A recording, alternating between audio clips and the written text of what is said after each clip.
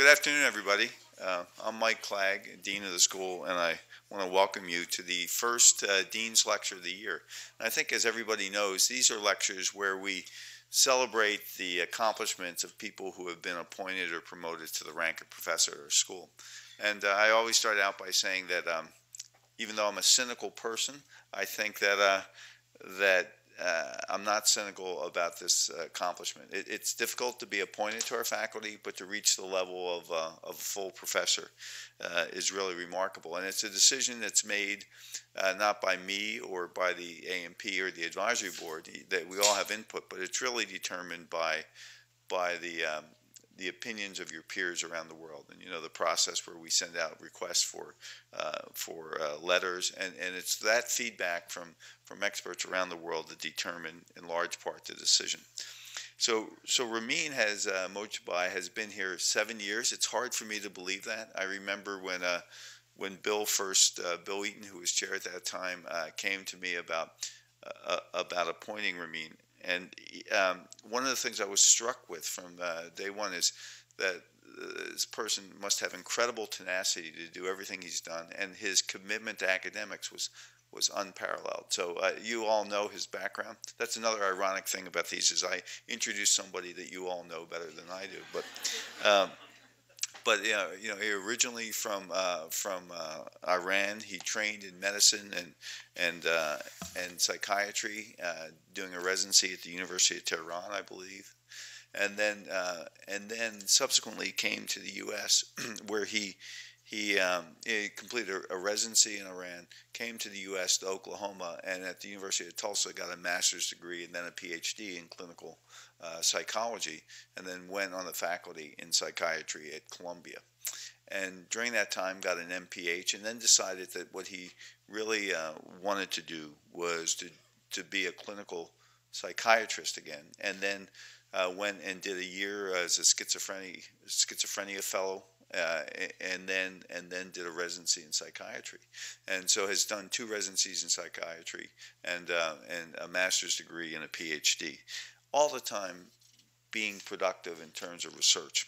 So really, uh, we knew I knew without meeting him that he would be a person who would do well uh, here at Hopkins, and we're so happy he's here.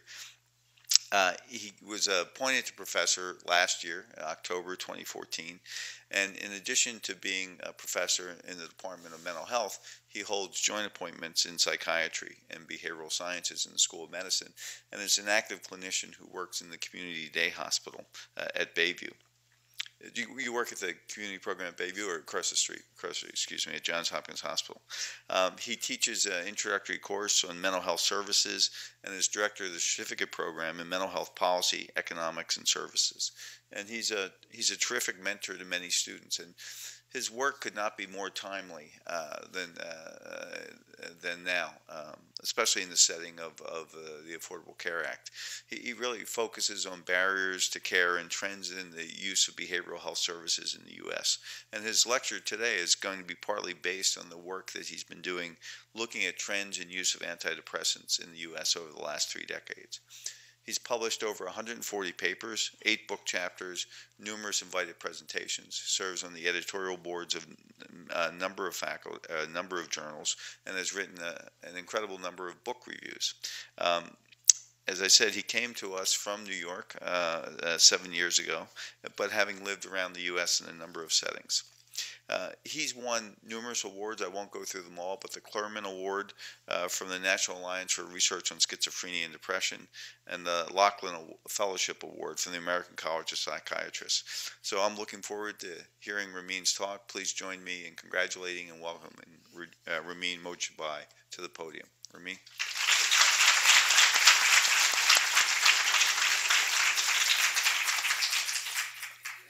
Sure. I hope I got all the so thank you very much for this kind introduction, uh, and uh, thank you for um, coming um, on this rainy afternoon to listen to my talk. So, um, as Mike mentioned, my talk is about um, provision of antidepressants, but also generally mental health treatments in recent years.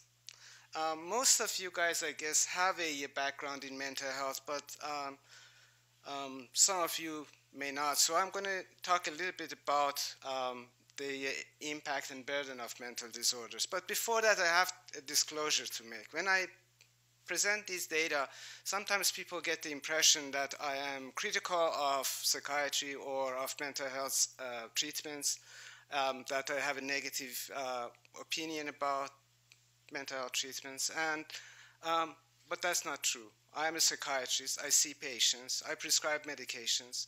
I do some psychotherapy, and I see its effect, um, especially in uh, severe mentally ill patients. So um, if I'm talking about um, deficiencies or um, what we are not finding in data, uh, it is with the aim of improving services. So that was a disclosure because uh, when I present this data, often people ask questions or bring up the uh, question. So mental disorders are common in all different um, settings, in low and middle and high income countries. They're not limited to one type of city and they are among the most common contributors to disability globally.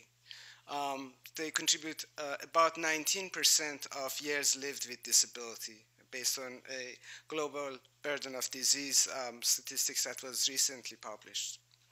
When we talk about men common mental disorders, I'm referring to mood disorders like major depression, dysthymia, and anxiety disorders like panic disorder, generalized anxiety disorder, social anxiety.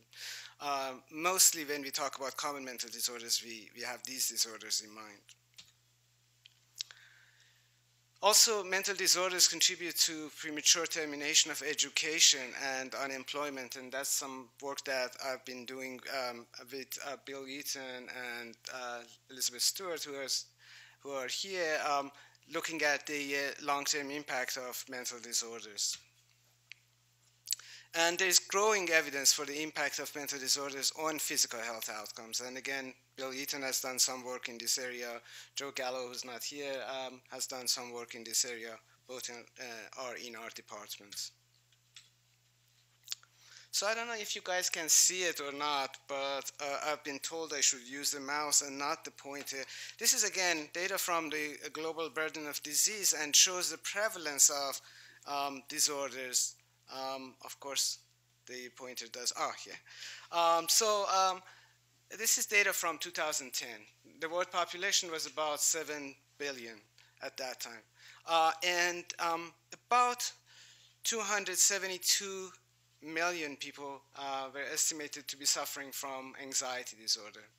Another um, 298 from major depressive disorder. And then there are other disorders that are less common, but when you add it up, it's a, a quite large a proportion of the population. Uh, over uh, half a billion um, worldwide, worldwide uh, suffer from one kind of mental disorder. So as we have learned more about mental disorders, we have also learned that a large proportion of these uh, people do not receive any treatment. And that is uh, a major problem. Uh, we sometimes talk uh, of a treatment gap, and when we talk about treatment gap, we're referring to these people who do meet the criteria for a mental disorder but do not receive treatment.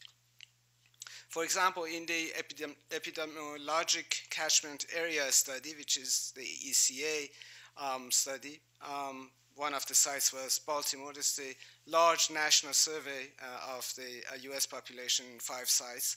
Um, only about 29% of those who met the criteria for a 12 month disorder had had any mental health contact in the past year. And other surveys have shown similar um, trends that, or pattern of service use large proportions of people who meet the diagnostic criteria do not receive treatment. And as a result of this knowledge, there has been uh, a concerted effort to improve access to services uh, for people who have these disorders, and also to reduce the stigma associated with treatment seeking.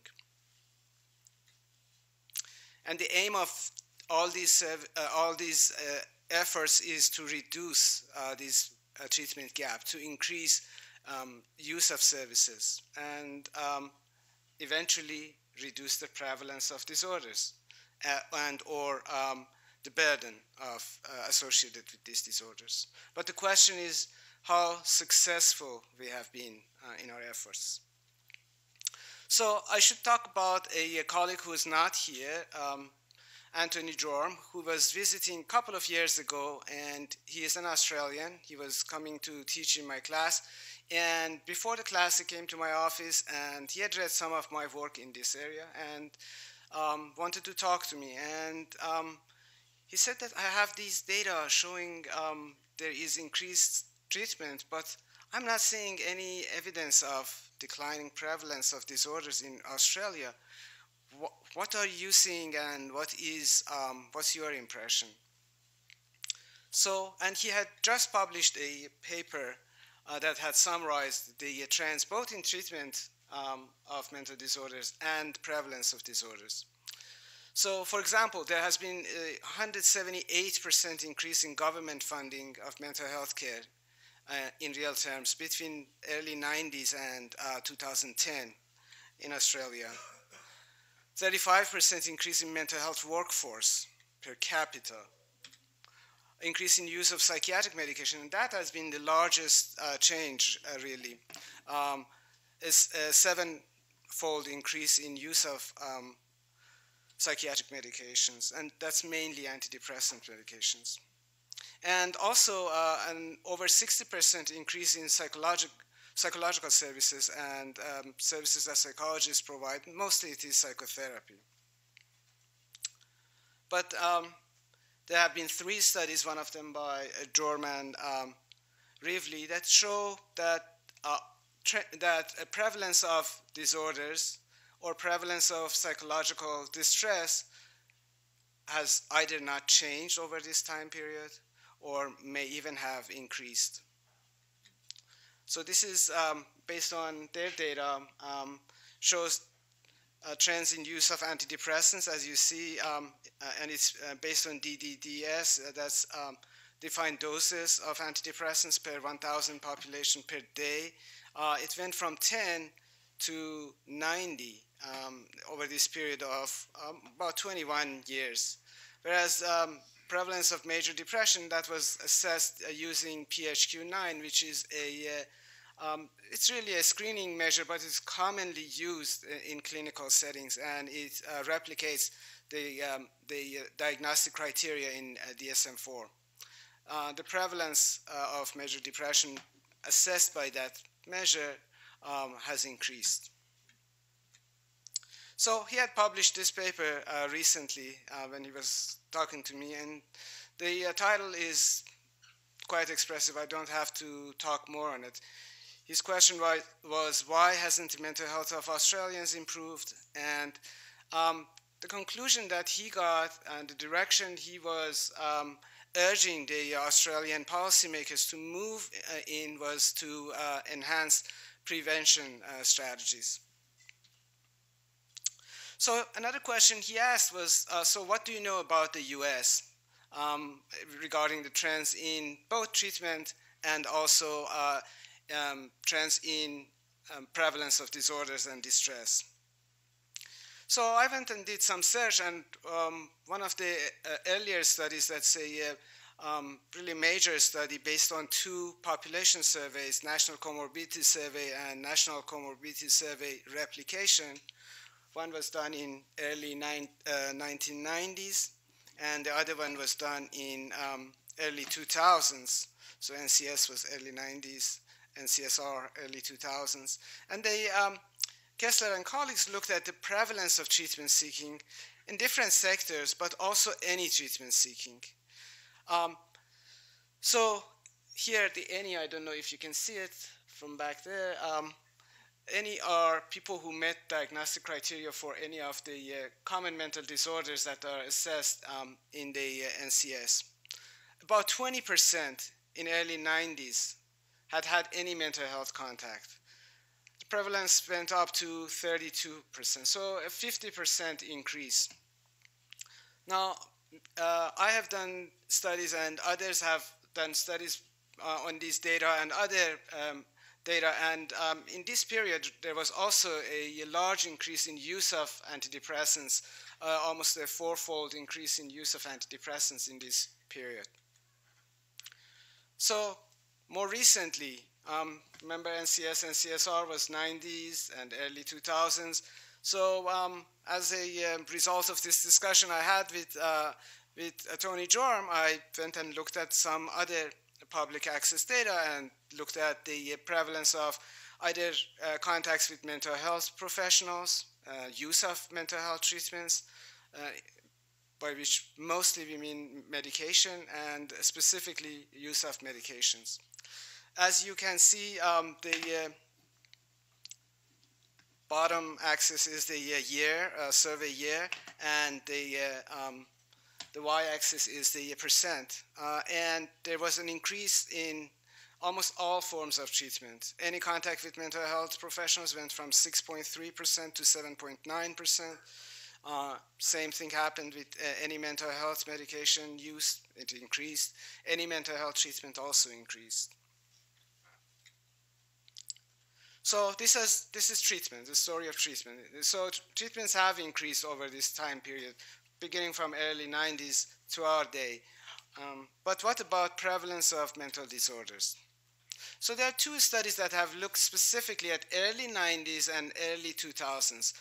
The reason I focus in that period is that that's the period when we had the uh, uh, strongest or most rapid increase in use of mental health services.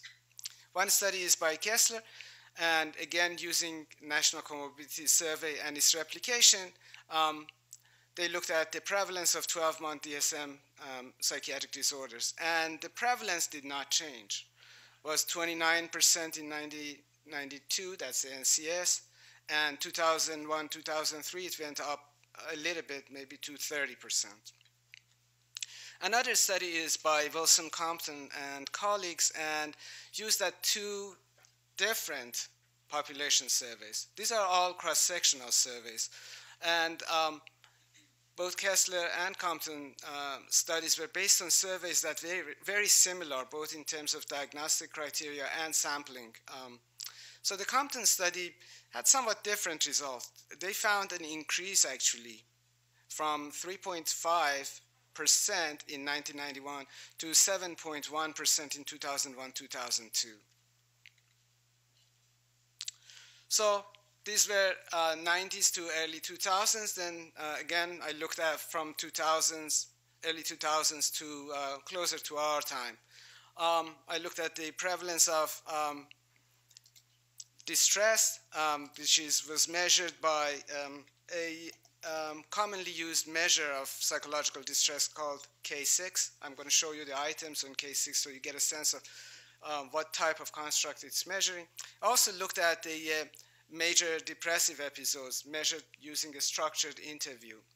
These data are, uh, all of them are coming from a survey, a population survey that is done annually in the United States. That's National Survey of Drug Use and Health, or NSDUH. As you can see, the uh, prevalence of moderate distress um, did not change meaningfully between um, early 2000s and uh, early um, 2010s, which means 2011, 2012. Um, severe distress also didn't uh, change. And uh, for major depressive episodes, they uh, started collecting this data in 2005, so I didn't have as many time points. But, um, but again, there was no significant change over time. This is the K6 measure that was used to uh, measure distress. It is comprised of six questions um, four of them ask about depressive symptoms, like during the past 30 days, about how often did you feel hopeless, uh, so depressed that nothing could cheer you up, that everything was an effort, felt worthless. And there are two questions also about nervousness and anxiety. And uh, the person gets a, a, total score based on the summation of these uh, items. So these were trends in distress and disorder, um, specifically major depressive uh, disorder. Um, so what about other outcomes? Uh, so we can't focus only on diagnosis as an outcome. Um, we should look at other mental health outcomes as well. So um, while ago, um, actually in 2012, I looked at the data from National Health Interview Survey that assesses uh, disability, and they ask specifically what is the person attributing the disability they're experiencing to. So, for example, the person says that I cannot walk, and the reason is that I have arthritis. So then that person is disabled and it's attributable to uh, arthritis. One of the questions uh, allows the person to say that the disability is attributable to um, mental health reasons. So um, to look at the uh, trends in uh, mental health disability, I divided the sample into those who did have any physical uh, disability as well as those who didn't have any physical disability. As you can see, the data goes from 1997 uh, to 2009, and um, no change over time. Uh, it's flat. Um, if anything, a little bit the, among people who had a chronic uh, condition, uh, there was a uh, increase, slight increase in mental health disability as well. So no decline. So these were data from um, US. I also looked at data from UK um, because they have this nice survey that they use uh, every seven years called National Psychiatric Morbidity Survey of Great Britain. And um, 1993, 2000, and 2007, they have repeated this survey. Very similar, it's almost identical survey that's used every seven years. And they assessed mixed anxiety and depression. This is based on ICD, which is a different classification somewhat from DSM, but similar. Um, and also depressive episodes. They also uh, asked about current antidepressant treatment. Again, you see between 1993 and 2000, use of antidepressants almost four or five times increased. Um, but again, no decline in either mixed anxiety or depression uh, or depressive episodes. How about suicide? We talked about uh, that's a major uh, outcome, um, really, and um, no discussion of trends in uh, mental illness uh, is complete without talking about that. So, uh, what do we know about trends in uh, suicide in the United States? Um, there was a decline uh, between early 90s and 2009 in suicide rates among the uh, older population, that's 65 plus. Uh, that's the darker curve on top. But um, middle-aged population, that's the middle curve, um, no uh, significant or meaningful uh, change over time. If anything, there was an increase in suicide rate between 2000 and 2009. And in the youth also, um, uh, there might have been a, a decline between early 90s and early 2000s, but then after early 2000s, uh, the trend has been uh, flat. So this is a very interesting meta-analysis that uh, Baldessarini and a group of his colleagues con uh, conducted, they looked at data from WHO. They compared um, suicide rates from a number of countries uh, all across the globe um, between 2003 and 1990. Now, this is a period when um, new antidepressants, the SSR, uh, SSRIs, were introduced into the market. There was a huge expansion in use of antidepressants during this period. So um, if antidepressants were supposed to have any impact on prevalence of suicide or incidence of suicide, you would see a, a reduction. Um, and so you would see um, more dots on the, uh, um, it would be your left hand, left hand of that line.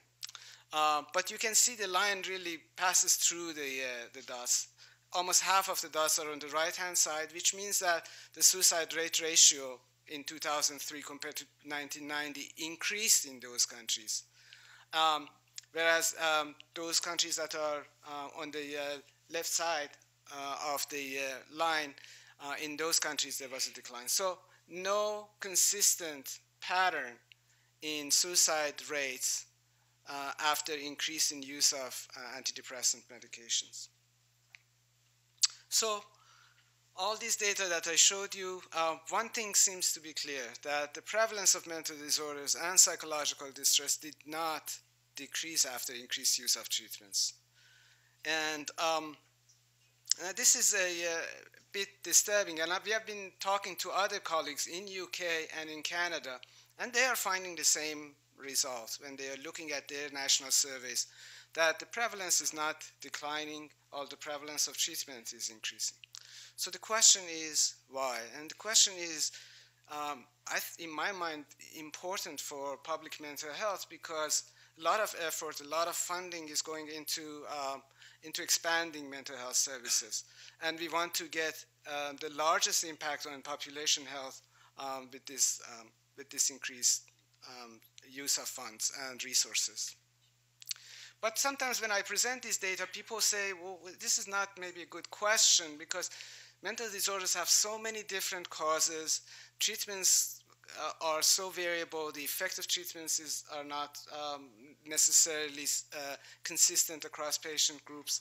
So um, being a psychiatrist, and psychiatrists are envious of other medical fields, um, so uh, I started looking at other health outcomes. Over time, has other, have other health outcomes changed? Um, we know that um, people are using um, more medications overall. Generally, they're using more uh, statins, they're using more antihypertensives, they're using more medication for treatment of asthma. Name it, any medication you name, uh, almost any. I shouldn't say any. Uh, they are using more medication in that uh, uh, class. So what about physical health conditions? So this is data um, uh, regarding hypertension and use of uh, antihypertensive medication. It's based on my own analysis of NHANES, and it's adjusted for age, race, gender, BMI. And as you can see, uh, use of antihypertensive medications increased from around 17 or 18 percent to over 20, uh, close to 26 percent. And um, the prevalence of hypertension, which I defined as a uh, systolic 140 uh, over diastolic 90, um, has declined. How about uh, statins? Well, statins have increased, uh, the use of statins has increased dramatically over this same period. Uh, it went from uh, a little bit over 6% to 16%. And, um, and prevalence of hypercholesterolemia uh, went down from around 16% to uh, 10 uh, or 11%. So, so for these health outcomes, and I can show you other health outcomes, now there are exceptions. There are some health outcomes we are not seeing population effects.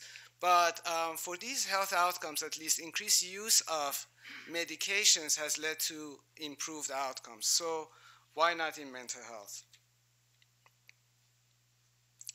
So there are a number of possible explanations, and that was um, the conversation that I had with Anthony. What are the possible explanations for this uh, no effect? One is that treatments are not efficacious. Uh, this is an ongoing debate in popular media. Um, you might have seen some books that are, uh, are even arguing that um, and uh, medications in general, both antipsychotic and antidepressant medications, are harmful, not uh, beneficial.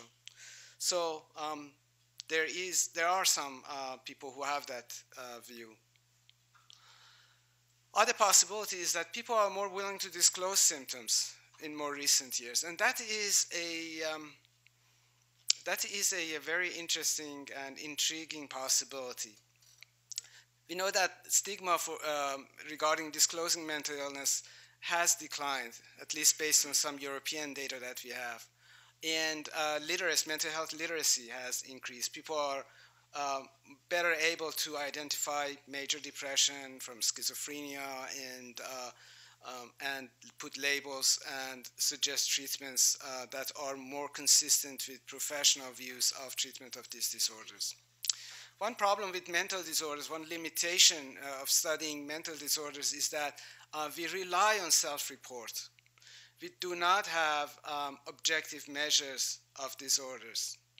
And that is a major limitation. Uh, of course, in physical health, in medicine, also for a lot of disorders, you have this problem. An example is low back pain. I was reading somewhere 80 to 90% of cases of low back pain, you don't find any objective evidence in the uh, imaging. So it's not unique to mental health, but we have this problem more than other um, fields of medicine. So we rely on people's reports, and if more people are reporting mental health problems, and um, so you would expect an increase in prevalence. Now, some of these people are getting better with use of treatments, some are not getting better, but um, the two trends may actually be washing out each other. Another um, possibility is that there has been an increase in incidence of mental disorders, uh, especially in the US in this period um, between 1990s and now we have had major social uh, political economic upheavals. We had the recession of 2007, 2008. We had the 9/11, and um, we had um, unemployment, and we have now uh, all these uh, violence, the gun violence that we hear about on the media. So, um, so maybe there has been an increase in the stressors, and that has led to increased incidence. Again, if the incidence increases, um, the effect of treatments might actually be washed away.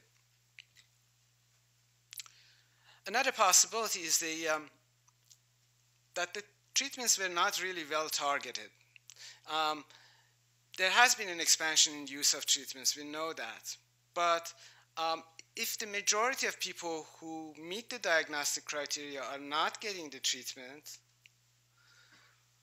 then you wouldn't expect their illnesses to respond to treatment. So targeting of treatments is different um, than um, just trends in increased use of treatments. And uh, yet another possibility is that the uh, treatments that we know of, usually we, our knowledge uh, about treatments comes from randomized controlled trials, where treatments are administered in a standardized way uh, for a, a long enough period. But in usual care settings, the quality of delivered treatments uh, often falls short of those standards. So that could be another explanation why we are not seeing uh, as much impact from treatments uh, with regard to uh, prevalence of disorders. And there might be other explanations. I, I would love to hear um, uh, your thoughts on that. But let me go through some of these explanations and um, talk about the evidence that supports it or um, does not support it. So regarding the uh, efficacy questions, uh, this is a study uh, by Leucht and colleagues. Uh, they looked at, it's a meta-analysis of meta-analysis. They went out and took all the uh, uh, studies that had um, meta-analysis of, of these different trials and looked at um, the effect sizes. So on the, again, your left-hand side, the um, empty circles, you see general medical drugs, the effect of those general medical drugs. On the right hand side, you see the blue dots, those are psychiatric drugs. And um, this is showing the standardized mean difference, uh, which is for those of you who are familiar with um, meta-analysis, that is Cohen's d. It's uh, mean of one group minus mean of the other group divided by the standard deviation. Usually it's a pooled standard deviation or standard deviation of the control. So what you see is that um, the effect sizes uh, for both groups, for both uh, medications used for uh, mental health and for physical health, they're around 0.4. So uh, it doesn't, it looks like uh, medications at least that are used in treatment of psychiatric disorders in these randomized control trials are as efficacious as medications used in, uh, for treatment of medical conditions like hypertension, diabetes, pain, etc. Now, I said efficacious.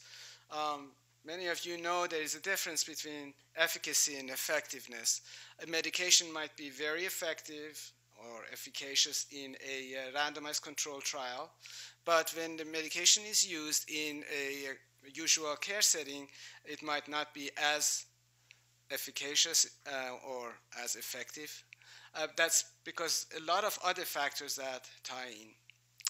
Another thing when we talk about the uh, efficacy of these medications is that these are comparing people who receive a medication to people who receive placebo. in the community, when we talk about the benefits of treatment or the uh, effectiveness of treatment, we are comparing people who are getting the medication uh, with people who didn't get the medication, or psychotherapy with people who didn't get the psychotherapy. So there is the specific effect of the treatment, and there is the placebo effect. And the placebo effect is very strong, uh, especially with regard to depression and even anxiety disorders. So here, um, question of efficacy. I'm not going to talk more about the efficacy. Um, next uh, explanation, possible explanation, you remember, is that uh, there has been a change in public attitude. People are reporting symptoms more often. Now, this is a very tricky uh, possibility. I really don't have any good uh, data to go on that. And um, it is very possible that this has happened. Um, but as I mentioned, because we don't have any objective measures of mental disorders, it is really hard to investigate this question. But um, I did another uh, study using NCS and NCSR, and in that uh, study, um, they had asked people's attitudes towards mental health treatment seeking. Mental health treatment seeking. They asked, uh, how comfortable would you be to talk about your problems with a mental health professional? How willing would you be to go to see a mental health professional? How embarrassed would you see if uh, somebody found out that you went to a, uh, a professional? And as you can see, um, let me just show you the uh, generation uh, effect. These are people who were in the 15, 24 year old.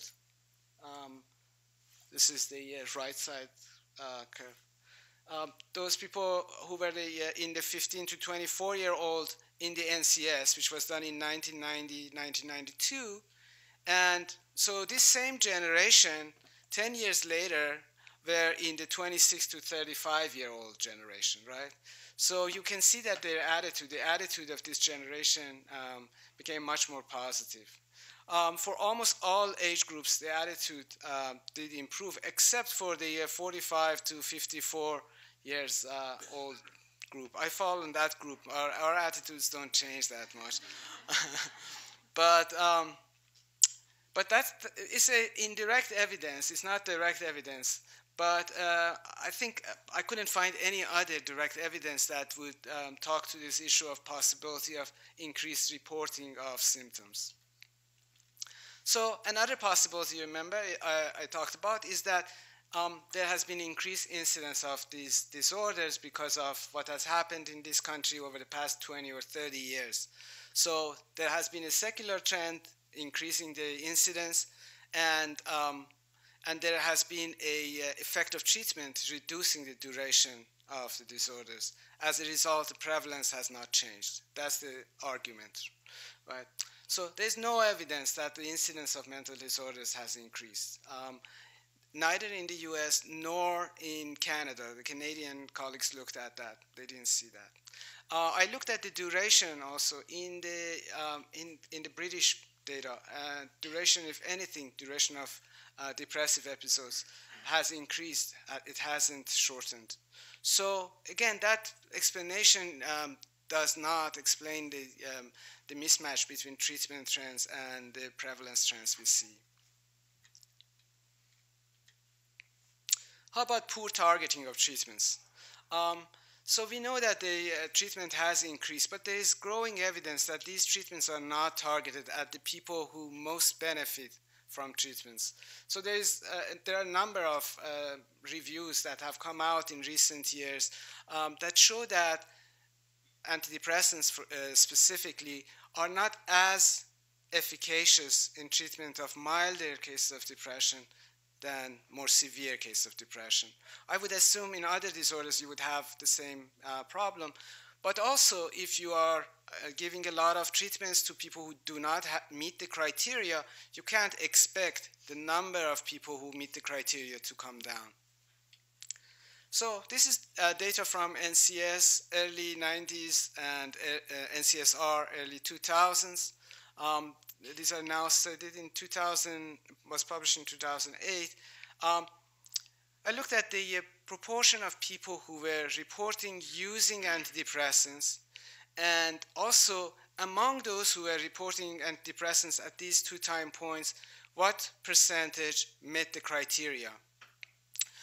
uh, for a, either a mood or anxiety disorder. Mood disorders are like uh, major depression, dysthymia, um, and um, anxiety disorders like generalized anxiety disorder, panic disorder.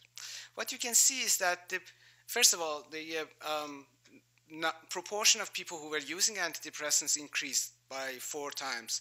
2.2% of participants in the NCS were uh, reported using antidepressants compared to 10% in uh, NCSR. So it's a, a more than uh, four time increase. But the interesting finding was that the proportion who met the criteria declined from 70%, that's the blue area in the uh, left uh, circle, to 54% in the uh, right side. So the prevalence of uh, um, mental disorders among those people who are receiving uh, treatments uh, might actually have gotten down. Um, that was a survey data. This is based on administrative data. Um, uh, the NAMCS, National Ambulatory Medical Care Survey, I know uh, Caleb is very familiar with, uh, with this data. Um, we looked at, um, uh, my colleague Mark Olfson, I looked at the uh, number of visits in which an antidepressant was prescribed and the proportion of those visits in which the clinician also entered a psychiatric diagnosis into the record. So the proportion of, of, visits in which a psychiatric diagnosis was entered is the blue line, is the blue area. You see that it doesn't change that much, but the red area are those people who were prescribed an antidepressant, but the uh, diagnosis was not entered into a record. So now, when, when I present this data, usually people say, well, there are multiple reasons people don't write a diagnosis in a, uh, in a record, including stigma, including the fact that the person started receiving treatment maybe last year. At that time, the person met the diagnostic criteria, but now the person might actually not meet the diagnostic criteria, and so that's another reason. I'm not debating that. Um, it's possible that the uh, uh, red area is inflated, but the trend is there, and the trend I could not find an explanation. None of these explanations would uh, would remove this uh, trend. Again, we're talking about the poor match. I've done a lot of work on that, and I was told you have to show a lot of your own work in these dean's lectures. Uh, so uh, that's why I'm I'm not in love with my own work, but I just want to. especially when it's done and gone. So this is again based on the uh, NSDUH uh, from 2014 study. I looked at the uh, people who were told uh, that they have depression. So the question was, did a clinician tell you that you had depression last year? And um, they were also given a structured interview for major depressive episodes. So so I took, uh, I looked at those people uh, who were both told that they have depression and met the diagnostic criteria, and were told that they have depression and did not meet the criteria. So those people who were told by a clinician and met the criteria are the blue bars, and the uh, yellow or brown, I can't tell the color, uh, bars are those who were told by a clinician but did not meet the criteria. So as you can see, about half or more than half of any population that you uh, go out and sample and you ask them, um, did the clinician ever tell you that you have depression? And they say yes. And uh, then you say, okay, like uh, answer these questions or structured interview. But half of them would not meet the diagnostic criteria for a major depressive episode. And if you look at the last um, age group, the 65 plus, the difference is dramatic. Um, about less than 1% really um, met the criteria. Less than 1% were both told by a physician and met the criteria. Uh, whereas 4% was, were told by a physician but did not meet the criteria. Uh, this same pattern happens when you ask uh, about, when you look at the proportion who meet the criteria and are prescribed an antidepressant medication. Now, these data on prescription of antidepressants come from another data source in NHANES, but the years uh, are consistent. It's from 2005 to 2010. And the age groups also uh, match. Again, you see that uh, among the, um, um you see actually an interesting increasing trend in prescription of antidepressants with age, and that trend does not um, come down much after age 65, whereas the prevalence of depression, uh, depressive episodes go down. Um, so only about 2% met the criteria for um, major depressive episodes, whereas about 14% of people uh, over age 65 and uh, over were uh, prescribed. We're taking an antidepressant. It's not even prescribed. We're taking an antidepressant. So this was targeting. I guess I belabored this point to, to death. Um, but the other uh, possibility that is, is, that the quality of uh, delivered treatments is poor. Um, and it's, it's a problem. It has been a problem uh, over the years. It's gotten better, I, I should say, over the years. Um, mainly because of introduction of SSRIs, because clinicians are, primary care clinicians are much more willing to prescribe them at a therapeutic dose, but still remains a problem. Uh, and I'm not blaming uh, uh, my primary care colleagues. The problems are inherent in the structure of primary care, some of them. Um, what is the uh, difficulty of diagnosing depression in primary care? Mainly because um, um, because of the low prevalence. When you have low prevalence, you have low positive predictive value. Um, people, uh, students in epidemiology know that. Another problem is the time constraint in primary care. That is a major issue. If you have like 10 or 15 minutes, you have to prioritize what questions, what issues, what health conditions are you going to ask about.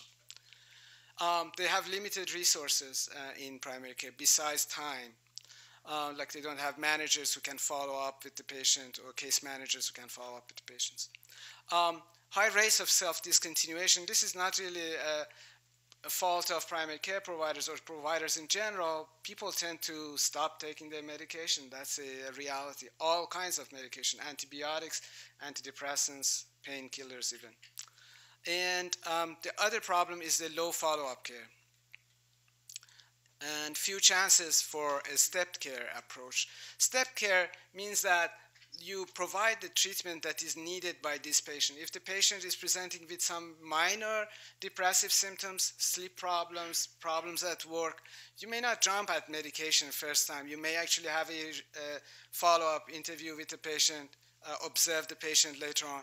If the patient is has more serious uh, symptoms, you may actually uh, decide to use a uh, uh, counseling, a few sessions of counseling is very helpful.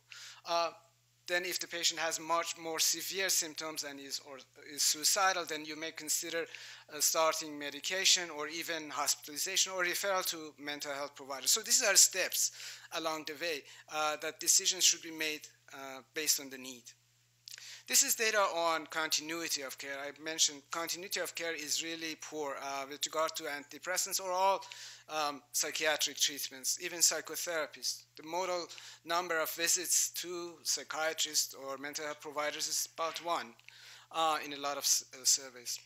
So only about 28% uh, of people who were started on medication, on an antidepressant medication, really continued it for 90 days. That's three months. Um, three months is even less than what is uh, recommended in uh, most practice guidelines for treatment of anxiety disorders or depression. So, um, the majority of people stop the uh, medication before um, before they start perceiving the, uh, the uh, benefits of it. Another um, issue, as I mentioned to you, is the quality. The quality is reflected not only in these process measures like continuity of treatment, but also in patients' perceptions of the treatments that they receive. This is a uh, study, again, based, based on NSDUH, National Survey of Drug Use and Health, that uh, my colleague, who's a graduate of our department, Janet Kuramoto Crawford, recently published, and I was collaborating with her. And um, so the question was they asked people who had received depression treatment how helpful the depression treatment was. And some of them said it was not at all helpful, and some said a little, some a lot, or extremely, as you can see. Uh, and those numbers represent the actual numbers of people who reported that. There were about 9,000 um, people with depression who had received treatment and responded to these questions. As you can see, uh, the, the green parts are those people who had seen a general medical provider and a psychiatric, um, or I shouldn't say psychiatric, I should say mental health provider. Could be a psychologist, could be a social worker, could be a psychiatrist. Um, the red are those who had only seen a, um, a, mental health professional, and the blue are those who had seen uh, only general medical providers. As you can see, among those who said that the treatment was not at all, at all helpful, uh, more than 60%, that's, the, uh, um, that's this bar, more than 60% had seen only a general medical provider. When you go to those who say that treatment was extremely helpful, um, close to 80% had seen a mental health professional, either in conjunction with a general medical provider or by uh, or just a, a mental health professional. So you can look at it both as a, um, a, negative finding or as something that gives us a clue that um, if we want to improve care in um, general medical settings in primary care, we should look at collaborations with mental health providers. And there are very good models of collaborative care, um, uh, uh, sort of uh, for depression especially, in, um, that are implemented in uh, parts of the country. That could be implemented and may enhance the, uh, the effects of treatment. So I'm coming to the close. Um, so summary, mental health treatments have expanded over the past two, three years, uh, decades. I, I, hope I've shown that uh, enough, uh, especially the use of antidepressant medications. But there is no evidence of declining prevalence of mental disorders or psychological distress. And the reasons really remain elusive, uh, but we have some clues, we have some possibilities uh, and some indirect evidence. So increased reporting of mental health problem, inadequate treatments in usual care settings, and poor targeting may, I think those are the three that are most likely contributing to this uh, phenomenon of no um, or very little uh, impact of treatments on a prevalence of mental disorders. Um, in the future years, with the expansion of insurance and um, use of mental health uh, treatments more widely in primary care settings, um, I think that treatments will increase. Larger and larger proportion of the population will be using uh, mental health treatments. And um, the role of primary care uh, is likely to increase either in the form of medical homes um, or um, other forms of uh, organizing um, care for, for patients. And it's, it has been said multiple times, the quality of mental health care in primary care needs improvements. And I, I think that collaborative care models provide a, a very promising um, model, uh, especially since they are uh, very amenable to a, uh, to a uh, medical home setting. But a final word is that I think that we may come to it that to reduce the prevalence of mental disorders at community setting in a meaningful way, we may need to um, put more emphasis uh, on prevention. In Australia, they are coming to that conclusion. In UK, they are thinking about that also disorders, mental disorders start from early on in life and, um, and to really reduce their prevalence uh, significantly, uh, we may actually need to focus our efforts there. I should acknowledge some colleagues who directly or indirectly have contributed to this work, including Mark Olfson, Anthony Jorm, who are not here, Bill Eaton is here, and uh, Elizabeth Stuart is here, uh, and uh, Rosa Crum not here, but uh, in spirit here. Uh, so um, with that, thank you.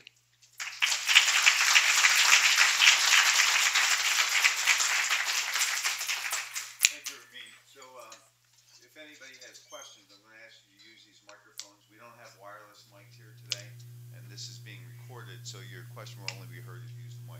So let me ask you, so since you went to uh, uh, chronic disease. You know, the, you showed the data from NHANES on uh, high blood pressure and hypercholesterolemia. Usually, the way they're defined is by reaching a threshold target, you know, of blood pressure or cholesterol, or medication. use, right? Because once you use the medication, you reduce that target. And did you, did, is that the definition you used? No, actually, I took the population.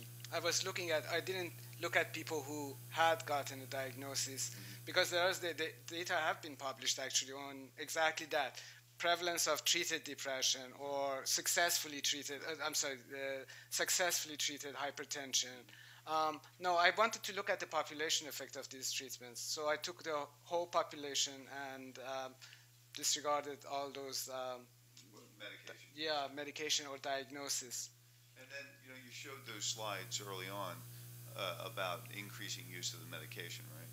So what what happens if you look at anti, uh, you know, uh, non-steroidals or other classes of medications? Or is it just that the that the use of medication in general is going up because of uh, direct-to-consumer advertising or something like that? Uh, uh, use of medications is generally increasing. More and more people are using prescription medications. That data comes from uh, Minnesota. Um, they have a, a, sort of registry data that shows that. NHANES shows that. I'm looking at that. The use of um, prescription medications is generally increasing, use of polypharmacy is increasing, and some of the increase in use of medication is because of the uh, statins are, are really uh, becoming a major uh, player, in, and uh, NSAIDs, as you said, and especially aspirin as a preventive measure. But, but it may just be a secular trend that doesn't reflect underlying psychopathology at all, right? It just just an increasing willingness to prescribe any medication or, or to take any medicine. Yes, that is possible. That's very possible. But um, yeah, it is very possible. But um, this is a spending that we have. We are. This is an item on our spending for mental health care. And what are we getting for that? The same question can be asked for a lot of these medical medications, medications used for medical conditions. Uh, are we getting benefit from them in terms of population health? So, Peter? Thank you. Thank you for this very interesting lecture. I, you didn't talk about it, but strata social uh, parts of the country. And it's quite clear there are changes in the economy. The rich are getting richer, and the bottom fractions are doing worse and worse. Um, do they correlate with differences in mental health? Is there more depression amongst the poorest? That's a very good, good question. I think Bill Eaton could answer that question because I know that you published something with uh, Messias on that, uh, that counties in the country or states that have more um, disparity in income have higher prevalence in depression? More inequality, Gini index inequality per state um, is associated with higher rates of um, depression. so, uh, so that's good. So just repeat that so it gets on the tape. Uh, so that the, the Gini index is showing higher degrees of inequalities associated with higher prevalence of depression. That's that's another factor. We know that inequality is increasing, and that could be another um, factor that's contributing to increased incidence. Bill, you want to say you have to come to the mic, or it'll be it won't make less there. Uh, so you were talking about preventative measures and stuff, and finding uh, treatment earlier or uh, encounters earlier. Uh, I found that there's major differences between the types of insurance that kids or teenagers and stuff like that have uh, in regards to what type of treatment they get. So ones with medical assistance, often if they get a referral from, say, me or the provider that I'm working with, uh, often will get a, an initial counsel where they get uh, a medication, and then they get seen, you know, for a follow-up, and then there's no real psychotherapy or anything like that beyond that. But if they have a different type of medication, maybe private, all of a sudden they have this much more uh, elaborate type of therapy. So I thought, and maybe you could comment on that and other forms of prevention that might be a good place to look. Yeah, actually, this is a very good question. Some colleagues I know are working like on foster, children in foster care and the type of treatments that they get. A large proportion of them are like prescribed antipsychotic medication for behavioral problems. So we have this issue of poor quality of care associated with, uh, again, socioeconomic status. Um, um, yeah, and that is uh, a major factor, especially in countries where, where there is no uniform insurance scheme, uh, not a single payer like our country.